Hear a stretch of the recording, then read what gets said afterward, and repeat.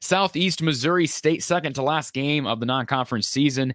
This is a decent team, folks. Now, you're going to look at the net and you're saying, oh, 250 in the net, 244 in KenPom. That's true. But if we're comparing them to teams like Uno, uh, or teams like North Carolina A&T. This is a pretty good team, and keep in mind a pretty good Ohio Valley Conference finished fourth in the conference behind the likes of Belmont, Morehead State. This is a good team, not great, good team.